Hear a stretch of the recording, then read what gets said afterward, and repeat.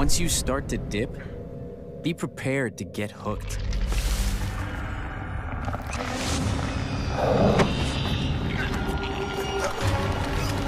It doesn't matter where you are. The monster doesn't care what you end up missing.